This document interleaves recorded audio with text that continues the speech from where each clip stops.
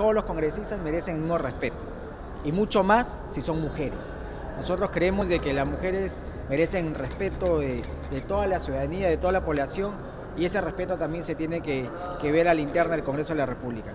Pero nosotros a la vez creemos que sería importante que ese problema o esas pequeñas discrepancias que puede haber en la interna de Fuerza Popular, esperamos de que sean solucionados por el bien de esa bancada, por el bien de la institucionalidad del mismo Congreso de la, de la República.